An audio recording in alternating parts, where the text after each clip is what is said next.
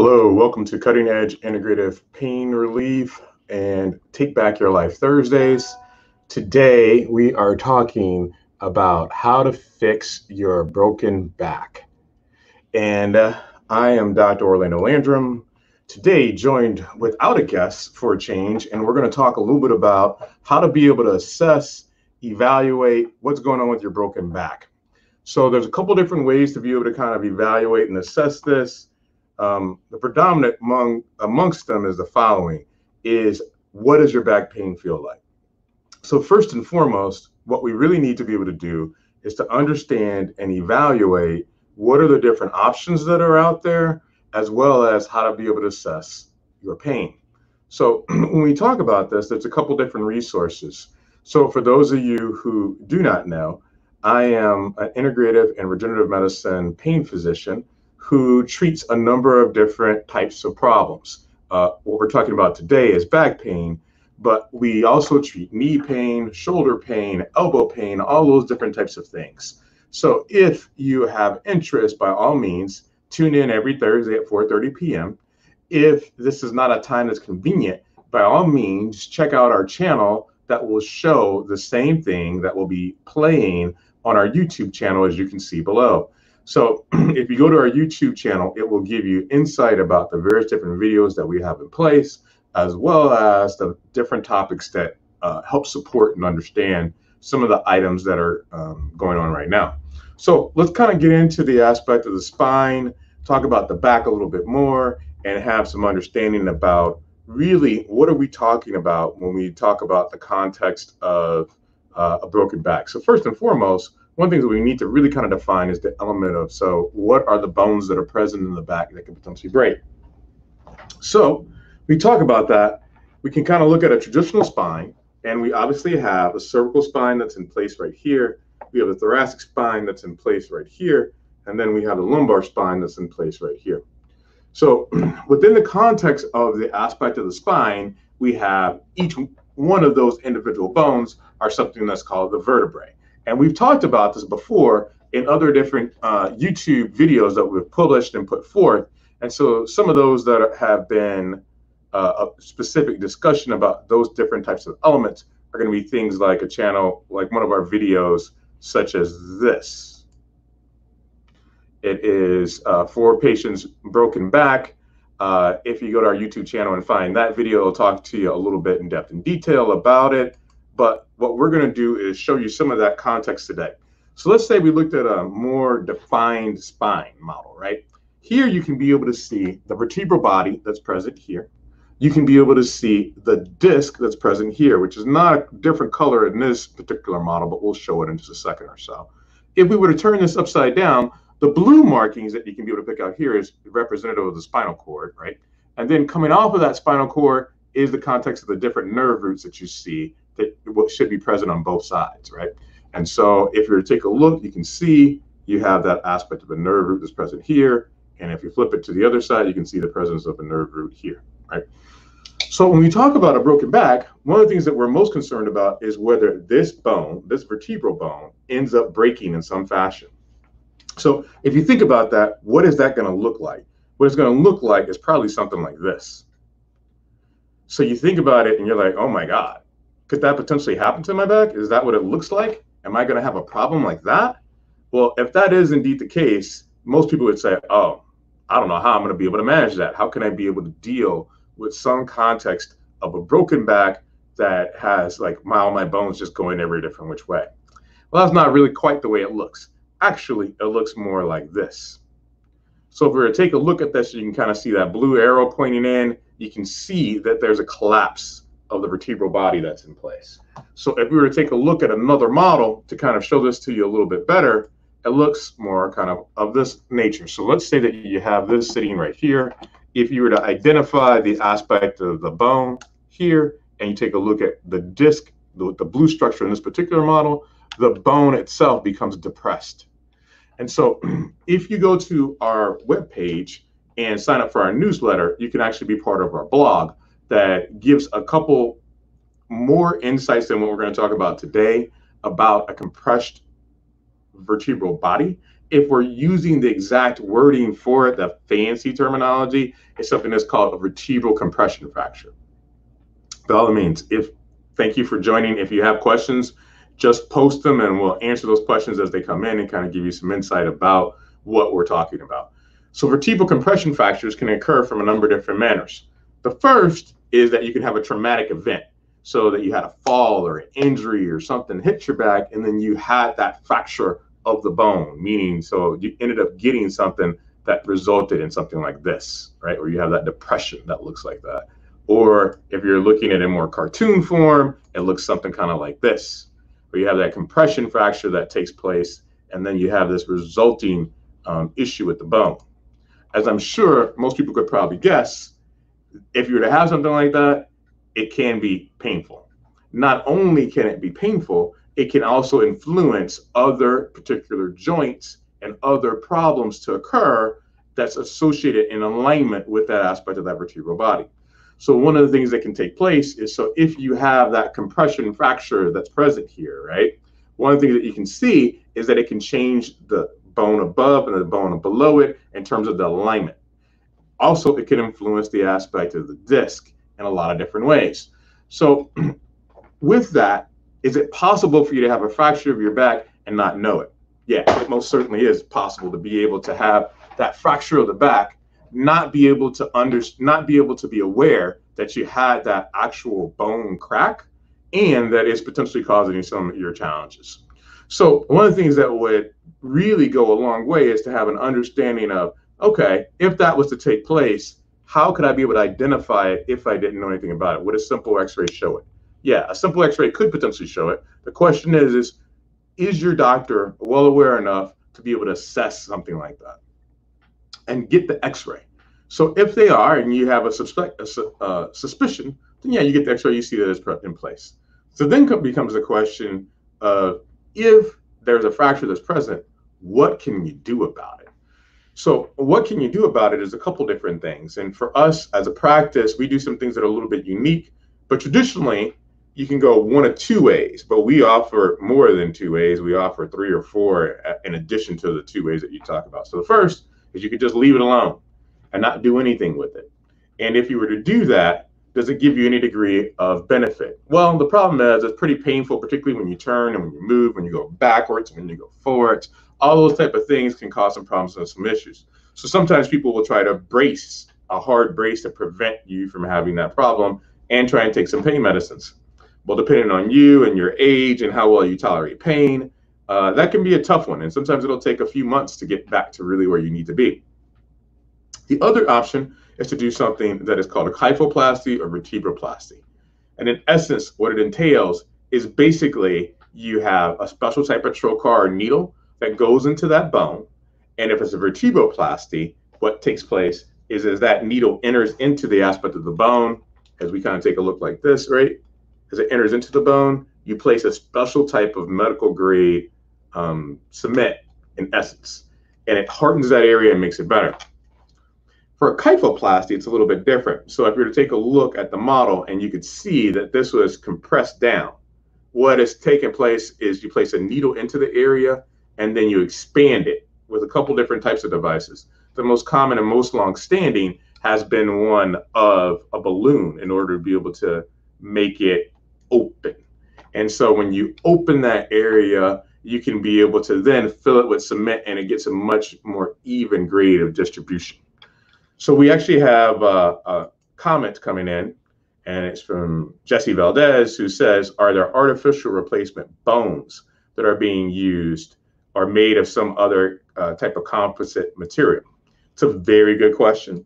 Thank you for fielding it. I didn't prompt that question from you. Well, that's actually pretty interesting because what I'm going to talk to you a little bit about is so what can be done besides the traditional cement, right?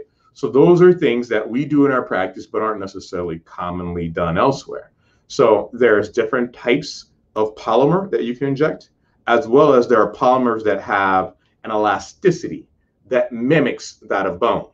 One of the reasons why kyphoplasty had issues and vertebroplasty had issues before in the past is there were concerns about when you put the cement in, is the cement that you place within the aspect of vertebral body harder than the other areas. So then you place like a heavy bowling ball and you put it on an empty shoebox and then it collapses.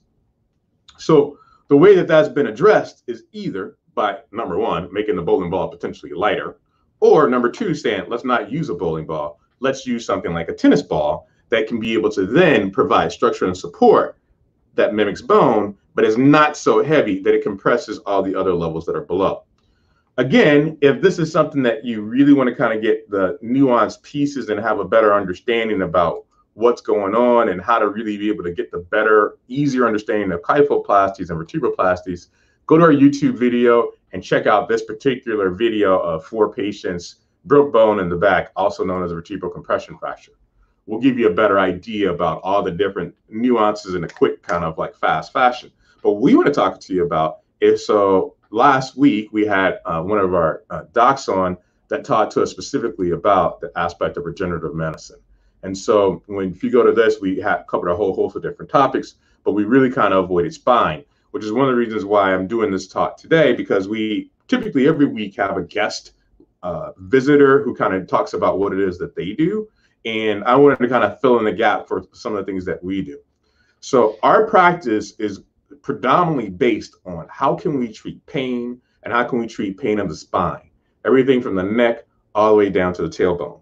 That's really what we do. And we're going to talk a little bit about some other innovative, interesting things that are close to this. Because when many people think about broke back, they don't just think about the compression fracture that I'm showing you in these various different pictures that pop up like this, right? When they think about a broke back, they think about, hey, my back is bent over, I'm hurt, I can't move, I can't twist, I can't turn. And so, what are some of the causes of that? So, we actually have a video that talks about the four most common causes on the YouTube channel that goes in and gives insight about things like the concept of muscle sprain, facet joint pain, discogenic pain, and spinal stenosis.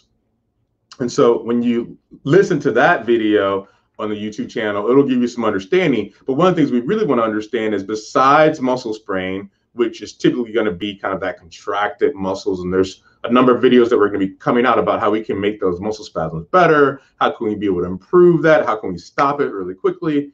And the concept of talking about facet joints. So again, when we talk about a facet joint, what we're talking about is the joints that really are involved in here. It's what allows for the spine to be able to bend, to be able to twist, for you to be able to turn. Those joints that are present are what allow for the mobility and motor and function for how you're able to really have appropriate locomotion. Most people traditionally have pain within the context of a facet joint. It normally is a problem that's present within the back that typically is worse when you go from a seated to standing position. It's worse if you're a golfer, a gardener, uh, a manual laborer, if you do any of those type of things. And so it can contribute to that feeling of a quote unquote pro- broke back. Spinal stenosis is a little bit different. Uh, we talked about this, and there's other videos that really kind of go into depth and detail about this. But it's mainly the aspect of you having pain when you stand and when you walk. When you sit, the pain gets better. When you stand, it's worse. And discogenic pain is a little bit different, but it's focused on the context of the disc. So when we talk about this, really does regenerative medicine have a role in this? Can we be able to say the things that we talked about previously for regenerative medicine, things like PRP, things like potentially stem cells, are those things that can be able to provide value? And they most certainly can. We're one of the few practices that do things like that. And so, why would you want to consider that as opposed to traditional cement or try to say, let's cover it up with either meds or steroid? Well, one of the reasons why is number one, it's autologous. And as we've discussed before, autologous means that it comes from you. And there's a number of different reasons why that's better. But one of the primary reasons why it's better is that you know you're not going to really have any infection that's going to come from someplace else. Number two, you're not going to have a rejection of, it, of the tissues. And number three, your healing is more than likely going to be much more robust because we're using tissue that comes from you. So that's one of the reasons why you may want to consider using an autologous type treatment, a regenerative medicine type treatment. But in addition to that, is that as we talked about that modified component, as Jesse asked before, of us talking about, hmm, well, if you have an artificial cement, is there anything that can mimic that area? Yes, there are. in essence, there are things that you can be able to do by using your own cells, your own tissue, and be able to get to that area and replenish it and get back to the area of what it felt like before. So as we kind of go into this, if you really have interest about vertebroplasty and kyphoplasty, check out that one video that I referred to before. Or if you have some interest and you really want to kind of know about what we're doing on a weekly basis, by all means, go to our newsletter and sign up for it. The banner that's ticking down below will kind of give you some insight about that. It will give you an understanding on a weekly basis about some of the different offerings that are out there. But the but pure and simple, when we talk about um, vertebroplasty and kyphoplasty, we have an upcoming blog piece that's going going to go into depth and detail, and that's something that we do at our practice. Most people think that it has to be done at a hospital. It is not. We can actually be able to do it in office, give you sedation, and be able to treat you appropriately. And so, if that's something that occurs to you or someone that you love, by all means, reach out to us and let us know. For us, we're following a pretty intense COVID uh, protection policy so that some of the things that you might have at a surgery center or at the hospital, we can be able to reduce your risk by a fair margin.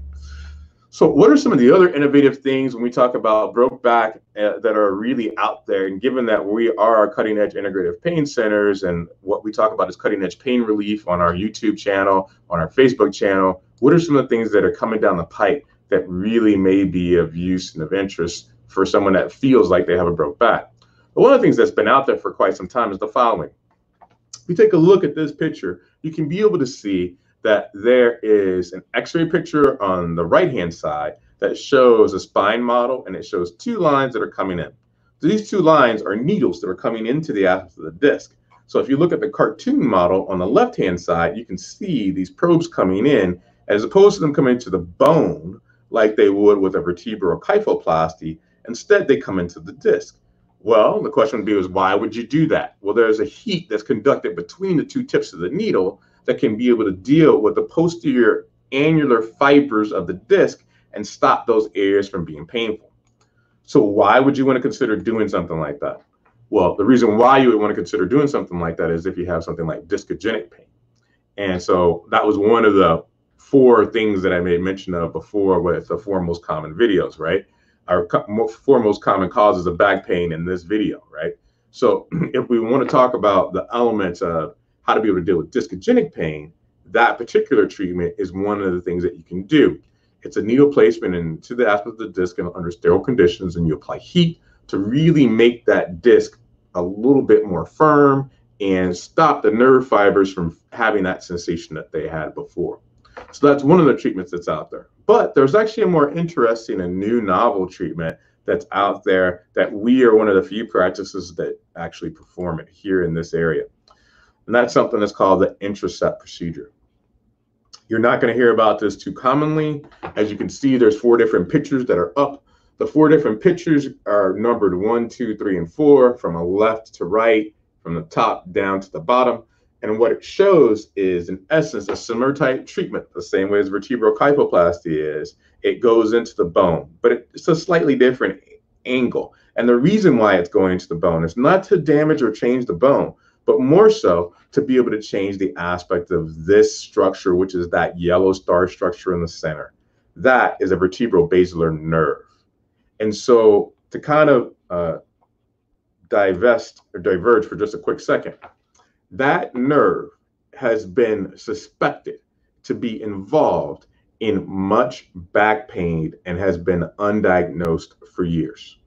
They've had a study going on, give or take, for about the last five to seven years or so, where they've treated patients in um, a research trial with what I'm about to explain. And what was originally thought was that the facet joint, as I mentioned to you before, let me see if I can find that model real quick. That joint type area in here, or the nerve root that's in place in here, or the central spinal cord or the vertebral body, that these are the areas that are causing most pain.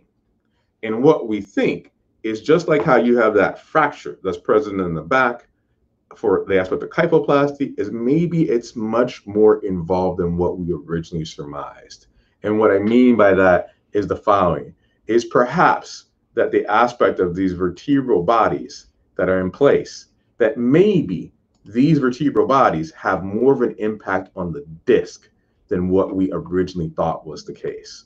So the premise is, is that instead of us just treating a disc herniation or disc pain, one of the things that we really want to get understanding about is if we treat the bone, does that bone then end up making the disc feel better?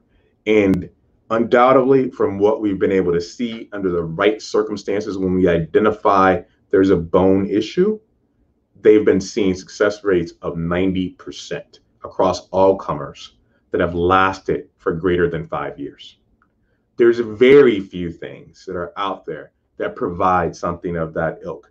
And the fact of the matter is, to have that type of treatment, you don't need fusion. You don't need hardware. You don't need metal putting to your back because that's not what this is about. This is about a minimally invasive way in order to be able to treat the context of the bone by going after the nerve root that's causing the pain. You place a small needle into the space, use a special type of catheter that goes here, and that catheter that's present then touches in and around that area of the nerve. It applies heat and it stops this nerve from complaining and giving issues and problems with pain. That's what the Intracept procedure happens to be. In the aspect of comments, one of the questions that's come up has been the following is what is the recovery time if this is an outpatient procedure? So we've covered a lot of different topics in terms of this aspect of broke back. Initially, we started with the components of vertebroplasty and kyphoplasty. So in answering that question, there are many people that get a kyphoplasty, which is really the predominant treatment of choice of what it is that we do. If we're using cement, they normally will actually feel pain, some pain relief rather, sometimes before they get off the table. But typically, you're going to have an idea about feeling better within the first two to three days or so. If we're talking about the aspect of thermal biacuplasty, which is that context of the treatment that we talked about with this, right? It takes a little bit of time um, for that component of the disc to heal and get uh, better in place. But normally, you're going to see results, give or take, within the context of a week to maybe two weeks or so it mimics some of the things that you see with a traditional radiofrequency ablation of the facet joints. Things like what we would commonly do when people say they're going to quote unquote burn nerves, but that's not really what we're talking about burning. We're talking about burning the nerves in a specific area, not the big nerves that you would see that come out of the foramen, not these nerves. More so, nerves that sit within the context of the joint, or in this particular case, within the context of the disc.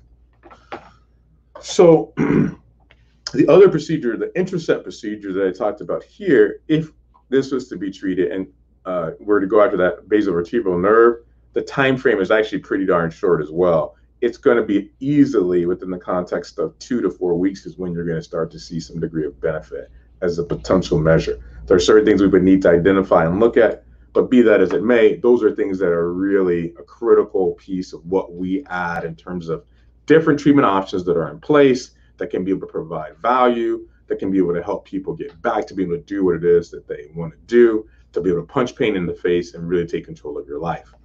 if we want to talk about how to be able to prevent some of the things that can occur, there's a number of different videos that can kind of give you some insight about that. But the fact of the matter is, when we look at how to be able to prevent back pain, there's a few different things that are key. Number one is looking at your diet and exercise activity. So, diet frequently individuals are not taking enough calcium or magnesium, and calcium doesn't have to mean that you're taking only or at all the aspect of milk or dairy products. Pardon me. You can be able to get some of those same things by utilizing the aspect of leafy green vegetables to be able to provide your body the need for the various different minerals and other ions and elements of a healthy, nutritious diet. Number two, is the aspect of exercise and activity. So that exercise and activity can be incredibly useful to be able to protect elements of the bone, elements of the joints, elements of the disc. So when you're providing exercise, it increases the overall demand, but it also makes the areas stronger and much more likely to be less responsive and less un- less unable to be able to sustain various different insults to them. so that's probably the first caveat of how you can be preventative. Additionally, is to know something about your family history.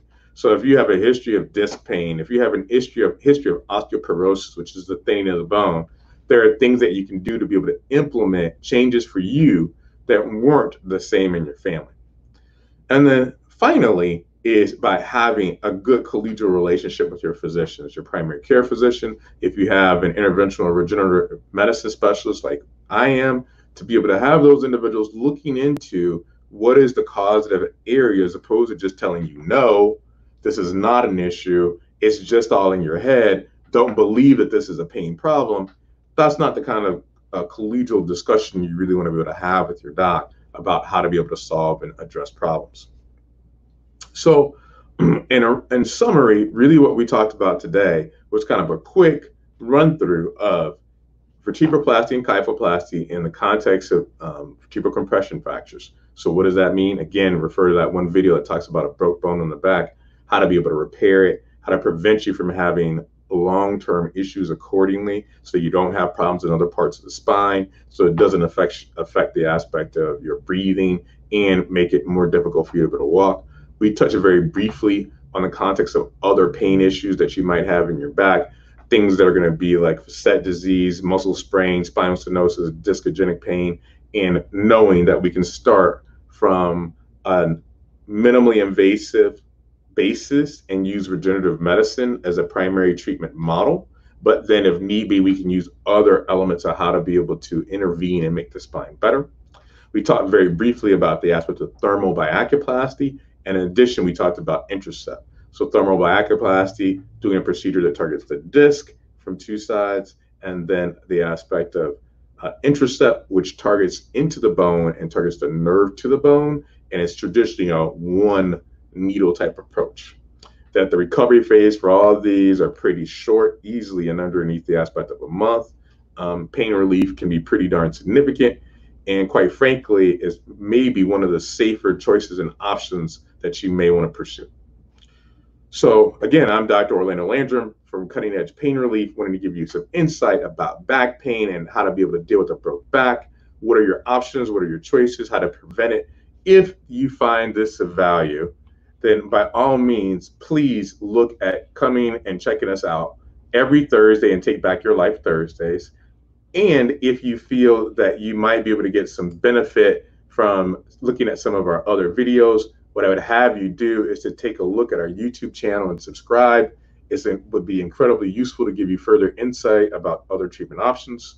If you want more of a uh, in-depth discussion about current topics and really want to have an idea about what are some of the, what's some of the literature show, by all means, check out the other banner that's going to be scrolling right now, which is our newsletter, and go to this link, and it will give us insight about what are some of your issues and problems, and how to be able to manage pain from a different way.